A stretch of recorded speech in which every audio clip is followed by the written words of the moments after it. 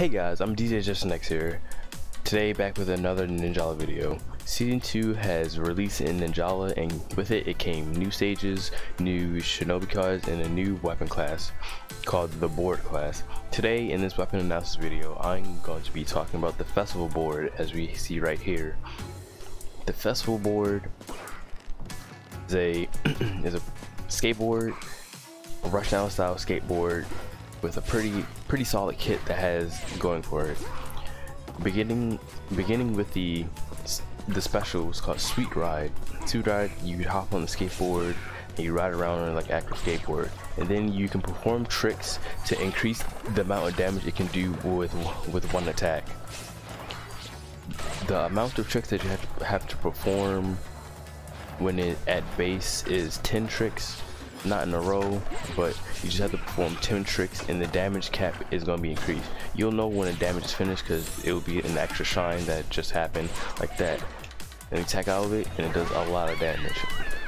Now, the damage buff only stays if you attack out of out of the uh, riding on the skateboard. You can't cancel it and then attack because it won't won't carry over the damage.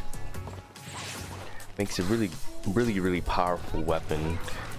Like one of the strongest weapons in the game with this buff. But come with it with the abilities for the special. Basically when you defeat an opponent like this the amount of tricks that you have to perform to reach the damage cap is lowered.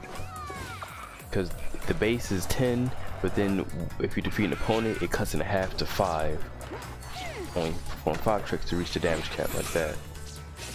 And then and then the ability when it is a big weapon is basically the same thing. The amount of tricks that you have to perform is lowered but all the time for big weapon. But those two abilities can stack can stack. When they both stack the lowest amount of tricks that you can that you have to perform turn goes to four. It goes from 10 tricks to five tricks to four tricks which is the lowest which is pretty good. You can build build up tricks and the damage really fast and just destroy people over and over and over again. It's pretty solid. And the board also has crazy mobility too. It, it's so free and what it what it does. You press the Y button again to cancel it. And then next I'm gonna talk about the attacks. The attack pattern has is pretty cool looking. It does a solid amount of damage and can do things and the boy's back attack can teleport around and the wide attack is just a, a kick, a 360 kick. And then the combo pattern that has is just like the Ippon Katana. Pretty solid, fast paced, solid, good damage as well. Because the skateboard and the Ippon Katana are basically almost one to one in how they attack. It's pretty, just really, really good the next next I'm going to talk about the ninjutsu. The ninjutsu is a new one called the shinobi beast. The shinobi beast as we pull it off you turn to this giant monster and then just like the punishing blade because the transformation ninjutsu but it only has one hit at a time but has super armor in the middle of attack. And you can also see people through the walls when you have it on. So the, this ninjutsu is mainly going to be for, for like hunting down certain people over the course of the match.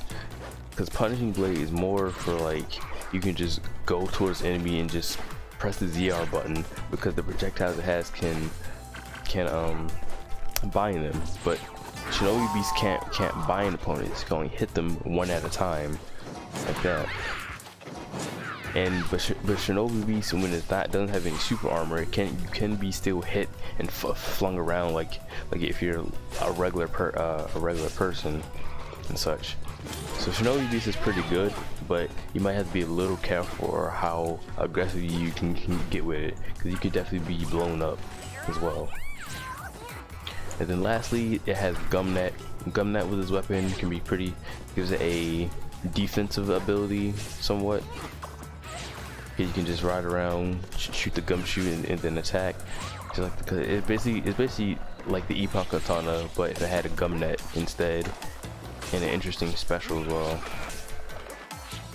So yeah, that pretty much covers the, the video and the skateboard rushdown style weapon with the damage buff capabilities.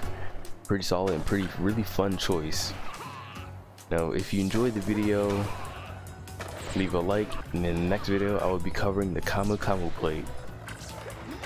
Thank you so much for watching and I will see you in the next video.